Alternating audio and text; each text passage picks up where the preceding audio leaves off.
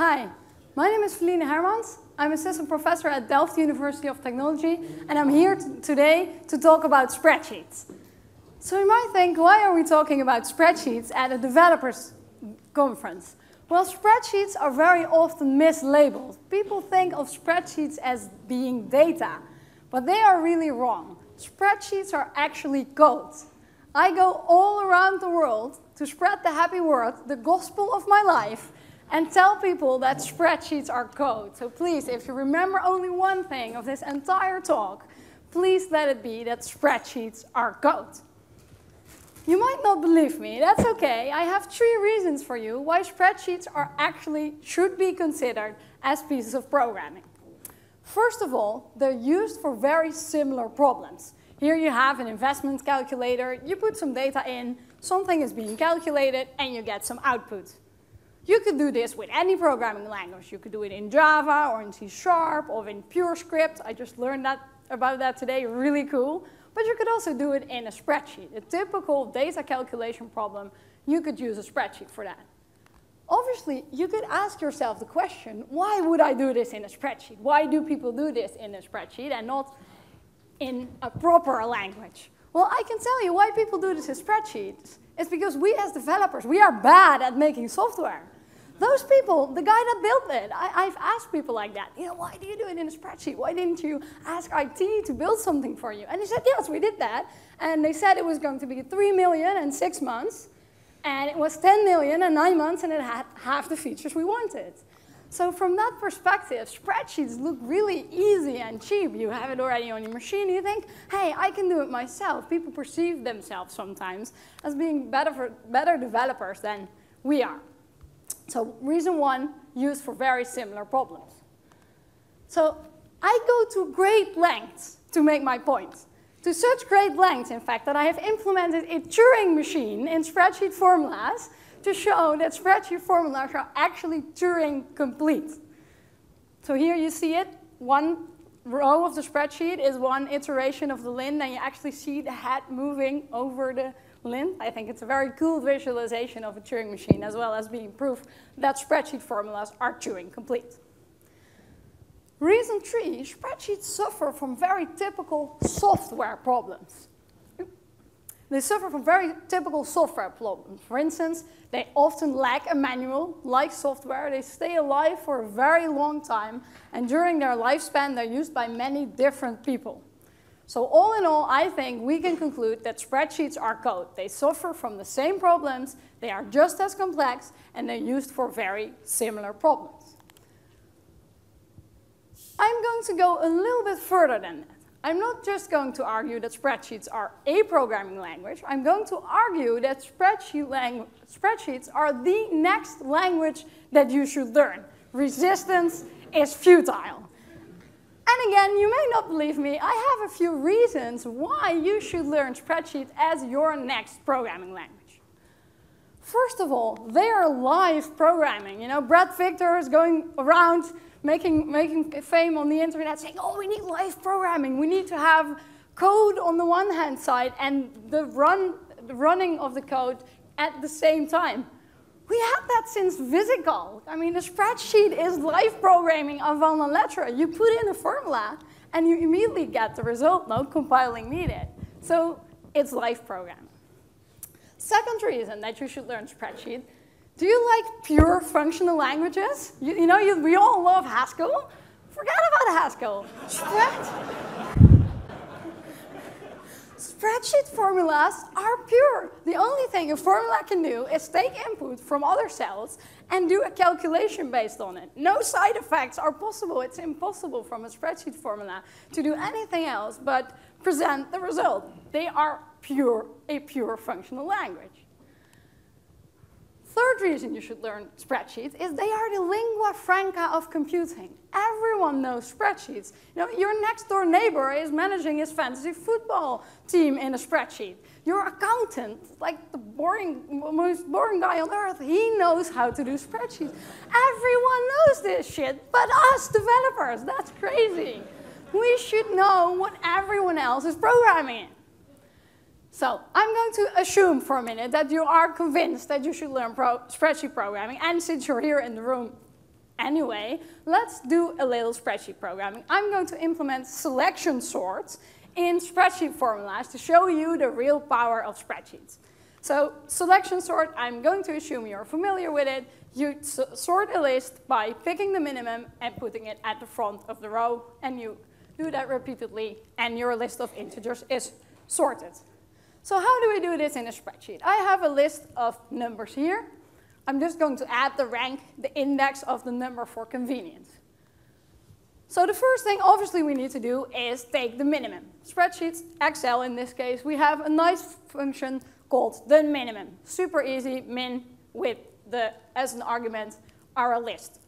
By the way, what you could also do, I'm not going to use that, but this is a little known uh, syntax, is you can also use an entire row. So we could also pick the minimum of the entire row. And just as you can also take the minimum of A colon A, that's a little bit more known syntax, and we're going to use this later on. So I'm just going to show you, you can also take the minimum of one row. What we need next, obviously, is the index of the minimum, the position where the minimum is in the list. And we can use a match function for that. And what a match function does is going to look at this thing, the one, and going to return the location within the list.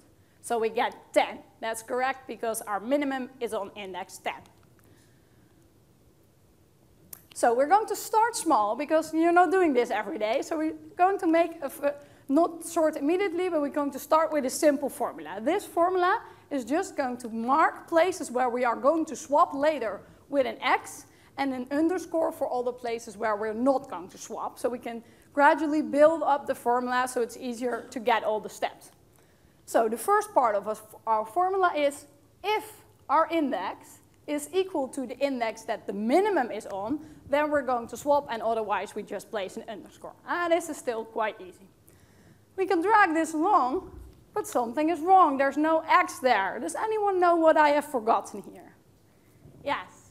The, uh, the yeah, the dollar sign. Yes, exactly, the dollar sign. So if you drag a formula along, Excel automatically updates all the references unless you put a dollar sign in there. So now you see here, we've dragged it, but it's actually referring to this one and that guy instead of this one. So if we put a dollar here and drag it again, then you see we get an X on the swapping sign. And we're going to, we know that we're going to drag everything down later on, so let's just put a dollar here because we know that we're, we're going to use the index row. So obviously we need the other thing to swap with, which is the index of the swap. We start at the first index and then we're gradually moving along the row that we're going to sort.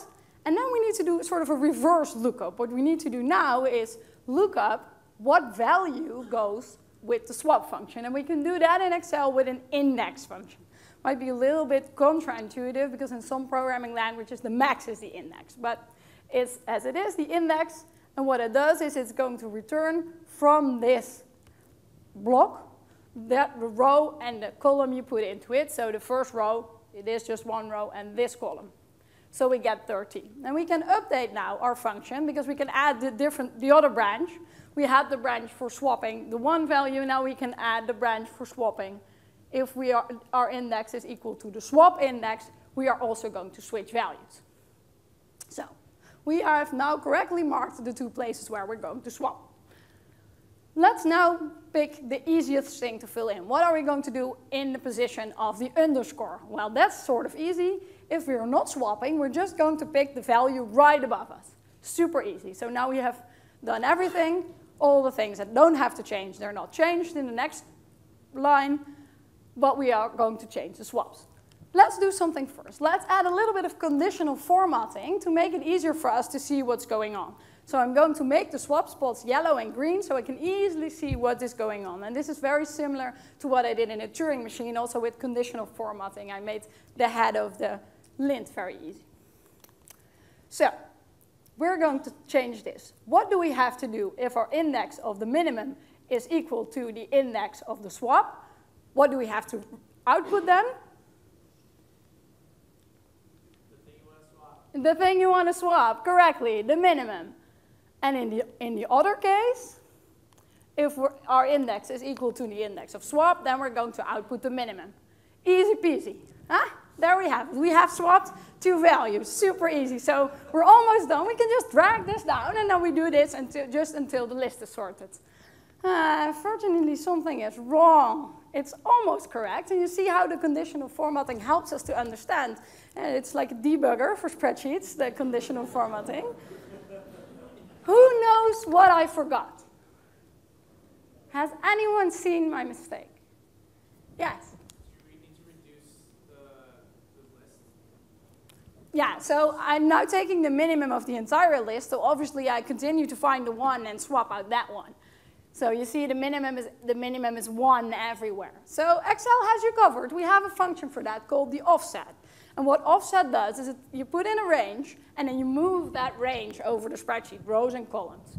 So you can move, we can move our minimum. We're going to move it zero um, rows and B minus, B4 minus one column. So the first time we're not moving it at all, and then in the next row we're moving it one, two, three, four, and then you can see every time we're picking the minimum of the correct row. So let's see what happens if we update it. Ah, isn't that wonderful? We have done selection sort in a spreadsheet.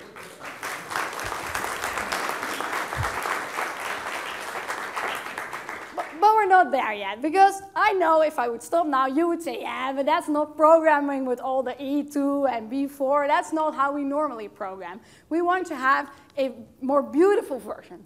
So let's do that. Level two, a little bit scary. You, you have all seen macros and Lisp, so I'm sure you can deal with some scary stuff in a spreadsheet. So first funky syntax feature. Does anyone know what this formula means? So it's a range, and then a space, and then another range. This is correct syntax. I didn't know that. I only know this because I built a parser of spreadsheet formulas, and I put in millions and millions of spreadsheets. And then I hit this. I said, what does that even do? What if, and then I input it into a spreadsheet and I thought, oh, that's cool. So anyone know what this means? Your next door neighbor does. Your accountant does. Come on, guys. No? Okay, I'll help you a little bit.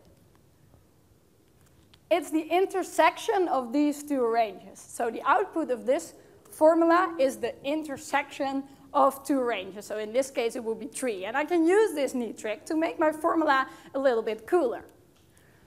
Let's give things some names. Ah, that's what programmers like. So let's say the row of all the indexes, I just call that index. And then I can use that to change my formula. So here I was directly pointing at E2. With the spaces trick, I can now change my function into the intersection of the index and the E column. So this is my column, and this is the index. So now I don't have to point at it anymore, E2. I can just say, give me wherever my column is intersecting, intersecting with index. And the cool thing about this syntax is that the space, the column I'm in, is not mandatory. So you can remove it, you can just drop it, and the, the function will be exactly the same. So what this still means is give me the value wherever I am intersecting with index. So that makes it a little bit nicer. And I can repeat this trick a few times. So let's say this is swap, this is the index of swap, this is min, and this is index min. This is how I'm going to call those named ranges. And then I can change this into this. Isn't that nice? It's almost like, like, like, like reading a book, reading a novel. If the index is min, then swap. If the index is swap, then min. Awesome. There's just one thing of course, that I really hate. It's this guy.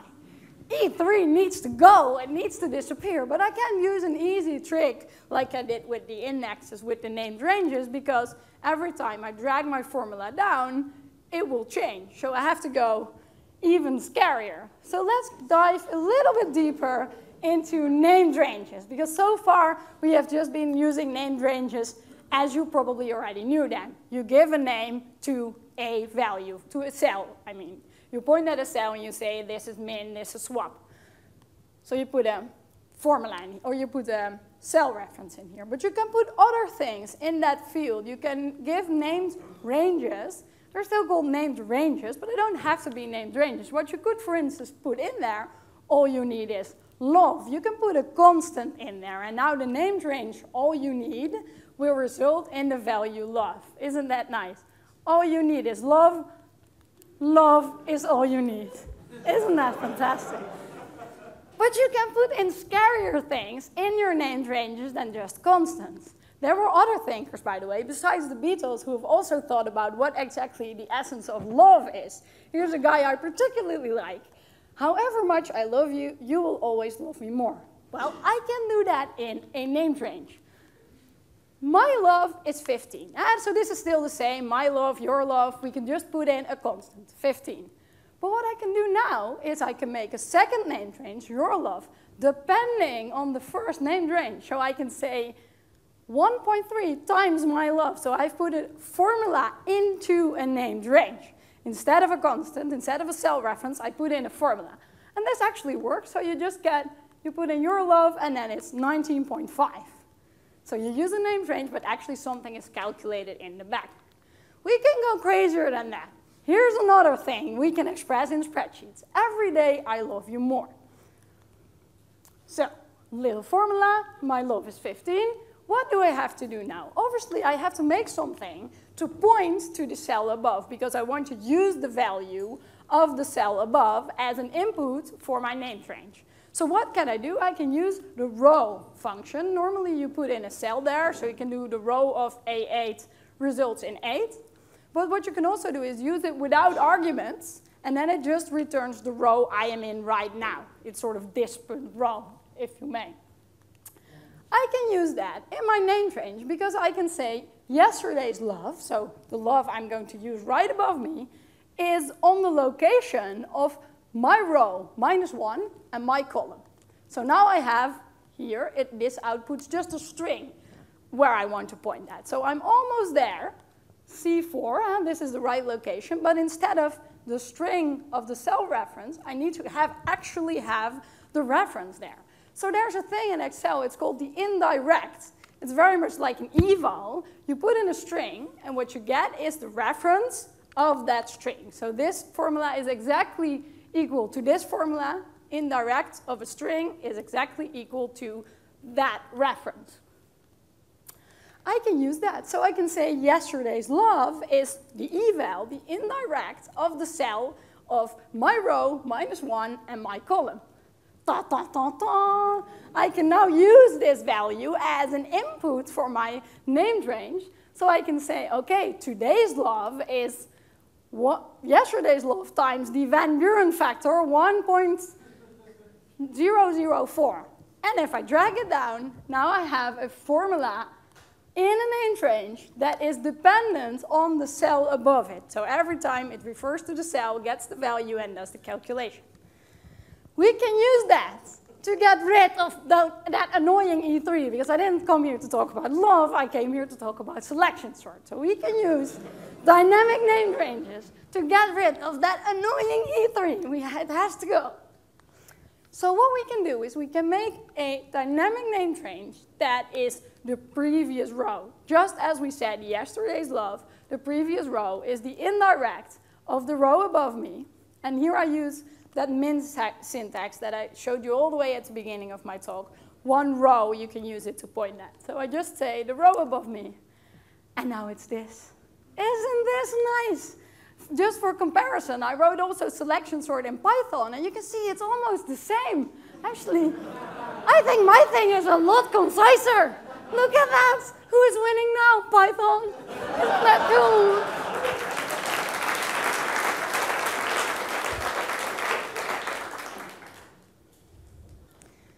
So, of course, now I'm going to talk a little bit about my own research. Now you are convinced that spreadsheets are actually proper source code, I can pitch my own research here. Because if you are going to argue that spreadsheets are source code, then maybe we can apply some software engineering methods to spreadsheets. This is exactly the idea of my entire PhD thesis that you can see here. I defended this last year, and the idea of my entire PhD thesis is that if you look at spreadsheets as code, you can actually help spreadsheet users to be more like professional programmers.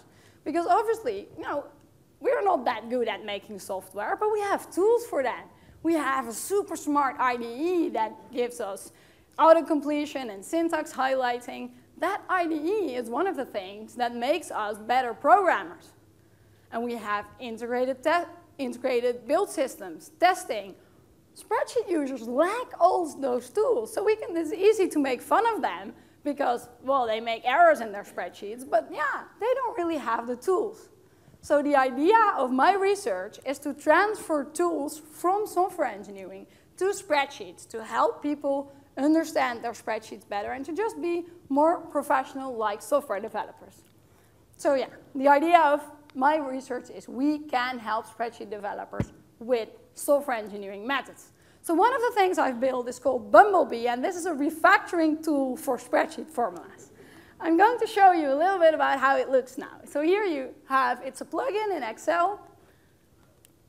We have a typical formula that some, someone could have written in a spreadsheet because he doesn't really know spreadsheets. So you have a sum divided by a count, but obviously it would have been easier if you would use the built-in average function there. But maybe you didn't know it, maybe you were in a hurry, maybe this, the formula has evolved because first it was sum and then after that you thought, oh, I still need to divide by count and it turned into an average.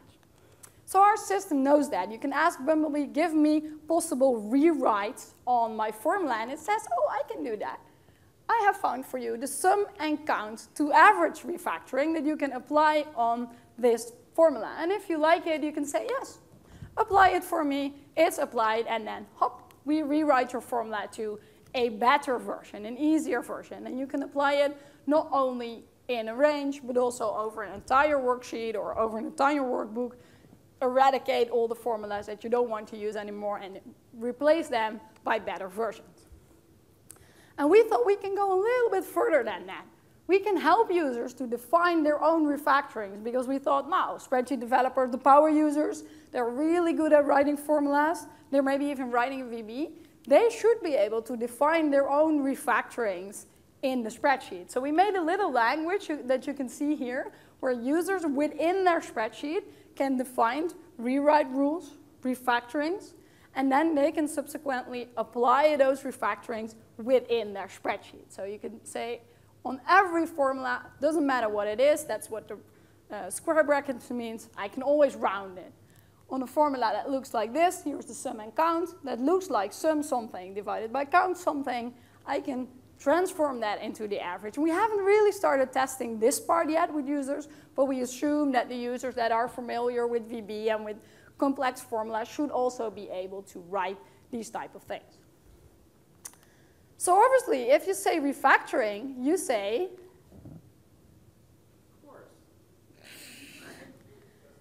Testing, yeah, you guys are still awake. If you say refactoring, you say testing. If people are going to mess with their spreadsheet or their source code in an automated way, they want to know that the thing is still functioning as it was before. So initially we thought, oh, this is going to be hard. How are we going to get professional spreadsheet users to test? It's already so hard to get professional developers to test. It's not so easy. It's hard to to get people convinced of the idea that it's actually worth it to write tests. They will, it will help you in, in the end.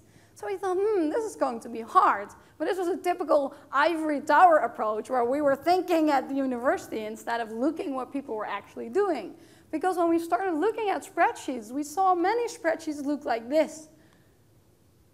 If the sum of these guys is not 100, then I'm going to output error. It's like a test, right? Or like an assertion. The user of this spreadsheet wanted to express that that block of cells needed to be equal to 100, otherwise, error, something strange is happening here. So we thought we can use these type of functions, these type of formulas that people are already writing, and we can leverage them to get people to test better because it's easier to reinforce behavior that people already have than to try to convince them to start to do something entirely different. So we built a tool called Expector, and what that tool does, another Excel plugin, is it can find those type of test formulas and elaborate upon it.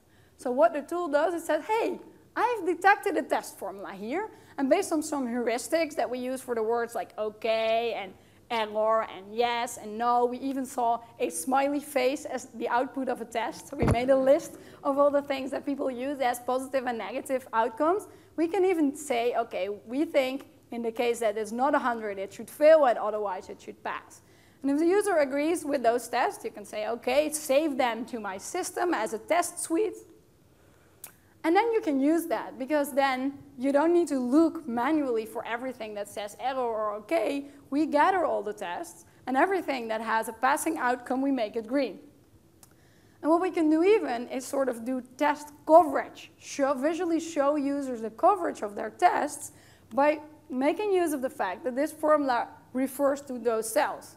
Then I can say, okay, this is a test and it's passing. So I could say that these guys are also tested because they are covered by a test that if something is wrong there, at the end it would have been tested by this guy. And we can do the same thing here. We say this is a formula, it, it doesn't have a test yet, and it depends on these guys. So we say this is not tested and the rest is also not tested. And this helps people to sort of understand the robustness of the spreadsheet, understand what they have tested yet and what parts of their spreadsheet could still benefit from some of those tests. And one of the follow-up things that we want to do, we haven't worked on that yet, but that's sort of our plan, is to combine this with complexity metrics of spreadsheet formulas that we already worked on.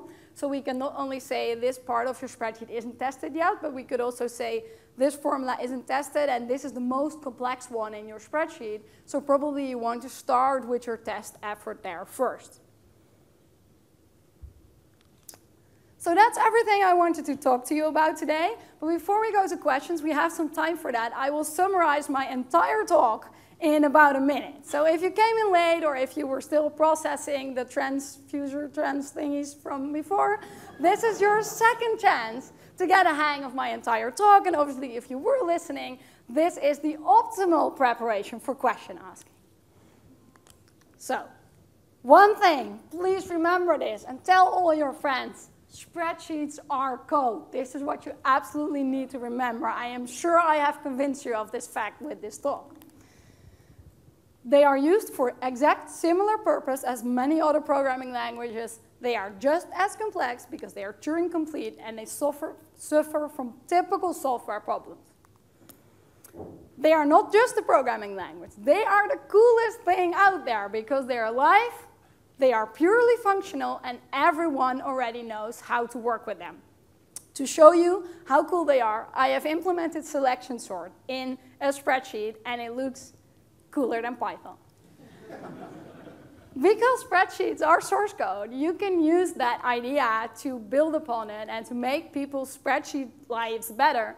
And for that, I have built a refactoring tool for spreadsheets and a testing tool for spreadsheets.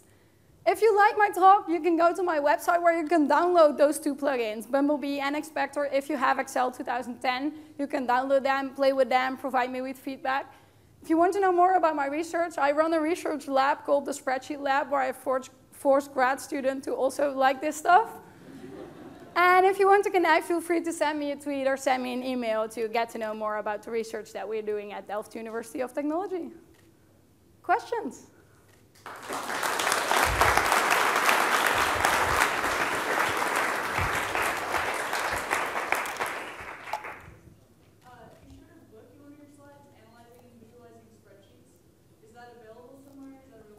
Yeah, no, that, that is the real book. I, it's my dissertation. Is that a real book?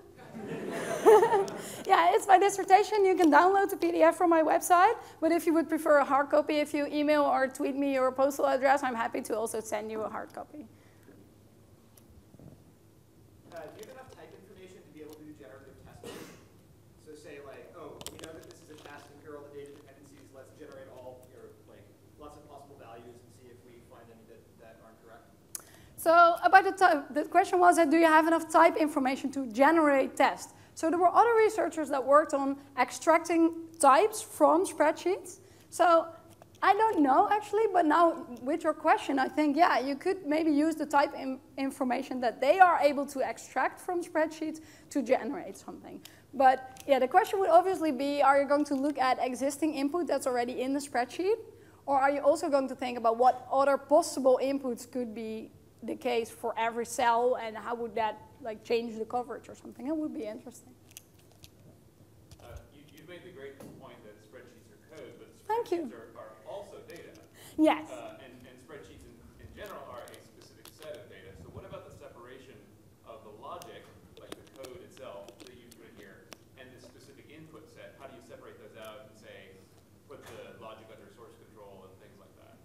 Yeah, so the question was how would you separate the logic from a spreadsheet from the data in a spreadsheet because that's, that's it's not just code, it's also data. So I showed you the refactorings that I'm working on. They're now very low level, like changing formulas. But one of the things we want to do in the future is to make structural refactorings. So you could indeed take an existing spreadsheet and change the entire structure where you would say, I want all the logic in this one sheet or this one place and all the data in here. And that would obviously be a very nice first step towards migration to something else or at least a clear separation where you maybe protect all the logic and only leave the input open to the user. So I would say a good approach would be refactoring and then more high-level refactoring, something like extract a worksheet. All the way at the back, the guy in the purple.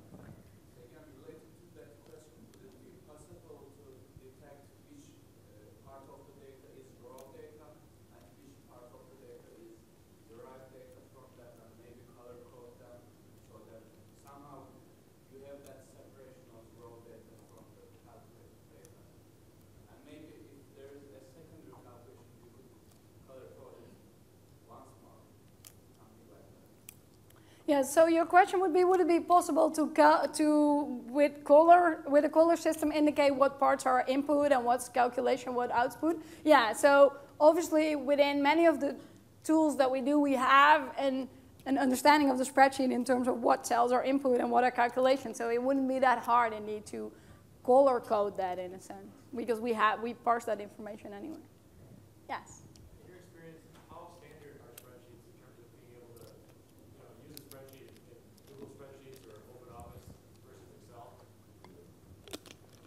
How, so your question is how compatible are different spreadsheet systems with each other?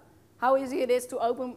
So that's a good question because for my research, basically, I only looked at looked at Excel because the type of question, uh, the type of companies that we worked with were large banks, large investment companies.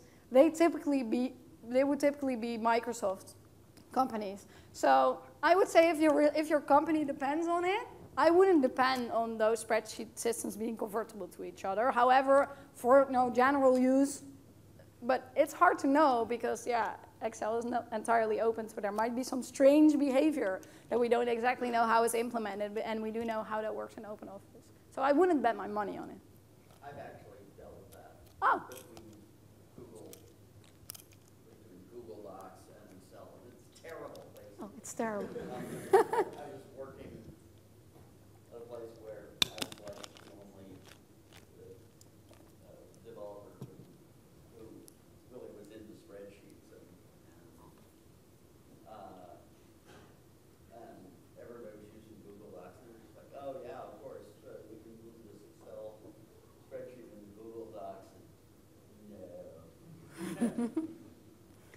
yes.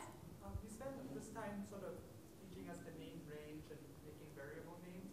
And I think as programmers, we like making variable names, but we know that naming is difficult, and you've seen a lot of real-world um, spreadsheets. In your, in your experience, is the naming actually worthwhile? Is it maybe this direct manipulation, maybe we shouldn't get rid of the E3. That is perfectly tactile yeah. So the question is, do named ranges actually help? There's a girl, she's called Rose McDermott. She wrote her entire PhD thesis on the use of named ranges in Excel. And her, her main result was that it's actually not such a good idea. so you can do it, but for, so it's a little bit more, more uh, nuanced than that. For experienced users, it really helps. So if you're an experienced user and you put in names, then you will benefit from it. But the problem with named ranges that she found was that if you hand over that spreadsheet to someone who doesn't know how the names work, then it starts to be really tricky. Because exactly as you see, well, as you say, you know E3, you can find it. But if you don't know how to find the names, it can be a little bit tricky in the Excel interface because you can also have the same name in different worksheets and they might point to different things. So it's all good if you, if you, you know, as with, I would say, as with all difficult programming concepts, maybe something like macros, I would give the same advice. If you're an experienced user and you know what you're doing, it's awesome, but then someone else has to maintain your code and then suddenly it's not such a good idea anymore. I would say that would ho- that holds for name ranges as well. They only help if you know how they work. But unlike macros, naming things is the very elementary thing with programming. What does that result say about programming, right? Is it the case that we program with names too much and we're used to it, but it's such a good idea? Yeah, maybe. Maybe. I mean, I didn't research that, but I can think about it a little bit. If you are, um, maybe it's intuitive for us. Maybe we are used to names, but maybe for you know your, your normal average day guy that just wants to get something to work, it's not that necessary. I could think that that would be true. I, I think one of the things is cells already have names, Yeah. and a name range is essentially like an alias. So if you think, oh, is aliasing good? Oh, maybe then name ranges aren't good. Yeah, that's an interesting way to put it. Yeah, you could say that E3 is a name, in a sense. But you could say it's a pointer as well. Maybe you would think differently. Final question. Um, so maybe related to this, uh, I've noticed that when you copy and paste formulas in Excel, it's actually really smart about updating your references to row and column automatically. What is the, I guess, how do you think about that when you're doing something deliberately, you're doing something automatically, Excel already does? So, what, what's exactly the question? So it's true that Excel is super smart. If you copy paste formulas from here to there, then it will automatically update the, re- update the references, and most of the times that what that is what you want. So when you showed us the name ranges, your first thought was that you're sort of getting rid of that automatic thing, and you're connecting them. Yeah. So Control, but it also doesn't yeah. take advantage of that. That's, that's very true, because if you would have a named range here and then you would drag, so suppose you have named all these cells, you put a formula here and you drag it down, it doesn't automatically refer to all the cells that are next to it. So in a sense, by adding the names, you are interfering a little bit with the things that Excel can do based on the references. But then again, on the other hand, you, if you see the differences between those two formulas, and if you're looking at it six months later, maybe you would prefer to invest a little bit more time in making the spreadsheet and not relying on the built-in logic so much because it will be more maintainable if you come back to it with the names. So that might be a trade-off between investing, investing your time in more readable code now or getting something quick now and then being sorry later. Okay, one more then, or two more. Um, Yes. So, uh, have you explored dynamic programming algorithms for spreadsheets? No, I have not explored dynamic programming. Would be interesting though, because you would say that the layout of the spreadsheet would be nice to visualize.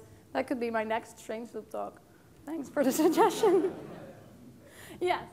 Um, there's, you know, you referred to kind of the sociology of, of spreadsheets as, as, you know, flow programming is like poor cousin, but, uh, you know, you should look at the birds of a feather unsession announcement from last night. I'll have you know that Excel is on the list of, of languages we were. Oh, cool. So you're already considering it a real programming language. Yes. Well, thank you. If you want to know more, please get in touch in our seminar.